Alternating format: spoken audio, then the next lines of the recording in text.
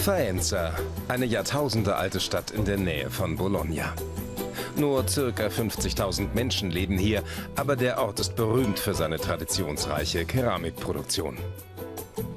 Mit dem Töpfern für den Hausgebrauch fing hier schon im ersten Jahrhundert nach Christus alles an. In einem traditionsreichen Viertel hat Luigi Zaccarini sein Restaurant eröffnet. Das Zingaro befindet sich im ehemaligen Palast des alten Adelsgeschlechts der Ferniani. Typisch für Faenza die Passatelli, eine einfache Nudelsuppe mit Parmesan. Das ist ein Essen für alle vier Jahreszeiten. Man kann es das ganze Jahr kochen, aber im Winter ist es besonders beliebt.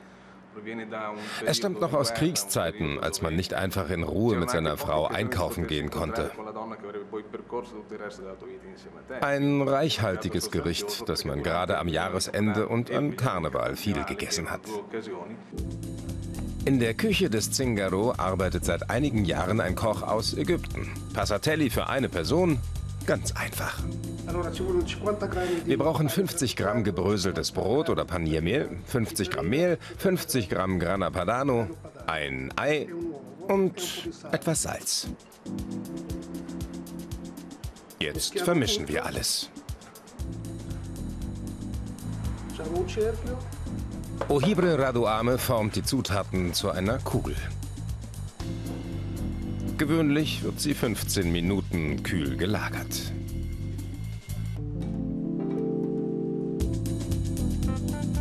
Dann presst er die Masse durch das passende Sieb. Die Passatelli im Rohzustand.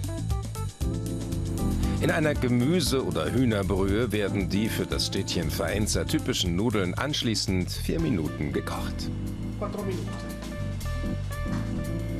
Ein Gericht, das durch den Käse einen würzigen Geschmack erhält.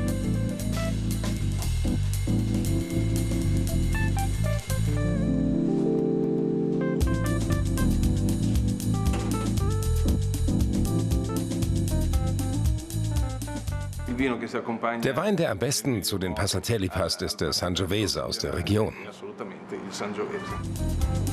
Ein ebenso einfaches wie schmackhaftes Gericht aus der Emilia Romagna.